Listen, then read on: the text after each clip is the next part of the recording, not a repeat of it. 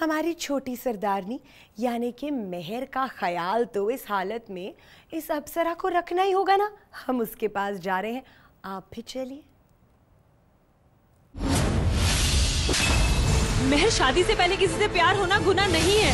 लेकिन ये जो तुम कर रही हो ना वो गुना है। तुम्हारे पास सिर्फ़ दो ही रास्ते हैं। इस बच्चे को गिरा दो। सॉरी दी मैं अपना बच्चा अबॉर्ट नहीं करने वाली। तो फिर मेरे भाई सरब को छोड़ दो।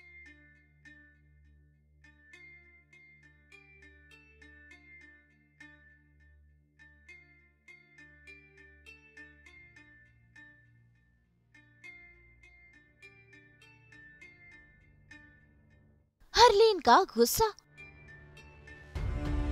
मेहर की बेबसी। परम के आँसू। घर में कलेश। कलश की सीरियल छोटी सरदारनी में आज ननद अपनी भाभी मेहर को कर रही है टॉर्चर। असल में हरलीन के हाथ लगी है मेहर की प्रेगनेंसी रिपोर्ट, जिससे उसे पता चल गया है कि मेहर की कोख में पल रहा बच्चा सरबजीत का नहीं है, और इस बात से हरलीन काफ़ी दुखी है, और वो मेहर पर बच्चा गिराने का दबाव डाल रही है।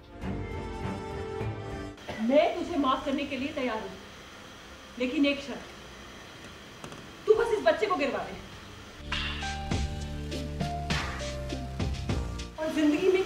कभी किसी से इस बारे में ज़िक्र भी नहीं करना। बस इस बच्चे को गिरवा जो कुछ भी ड्रामा हो रहा है वो इसीलिए हो रहा है because I want to save my child तो अगर इतना प्यार है तो मेरे सामने हरलीन हो या कोई भी और आ जाए और ये चीज़ डिमांड करे उसका जवाब हमेशा नो ही रहेगा। भाई हरलीन की जिद के आगे मेहर बेबस होने लगी है पर आखिर में उसने हरलीन को मना कर ही दिया। और साफ़ कह दिया कि वो अपना बच्चा नहीं गिराएगी। और ये सुनकर भड़क उठा हरलीन का गुस्सा। इस बच्चे को गिरवा दे। या फिर मेरे सरफ को छोड़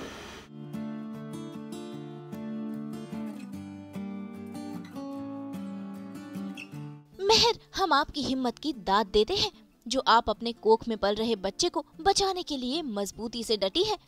एक तरफ़ हरलीन ने मेहर का दिल दुखाया तो दूसरी तरफ़ उसने परम को भी रुला दिया। जब घर में घुसते ही परम का सामना हरलीन से हो गया और घर में कुलवंत नाम लेने पर हरलीन ने परम को डांट दिया। मेहर, हरलीन का गुस्सा तो बढ़ता ही जा रहा है। जिससे वो घर का माहौल बिगाड़ने पर तुली हुई है, अब ऐसे में आप क्या करेंगी?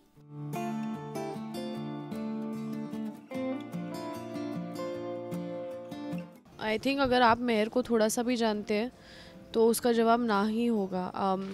I mean all throughout this entire story and this entire struggle has been for saving the child only Mehar, आपके जज्बे को सलाम है और हमें यकीन है कि इस मुश्किल घड़ी में भी सरबजीत आपका ही साथ देंगे और आने वाले बच्चे का खुले दिल से स्वागत करेंगे, जिससे हरलीन की ज़ुबान अपने आप बंद हो जाएगी। आज तक ब्यूरो।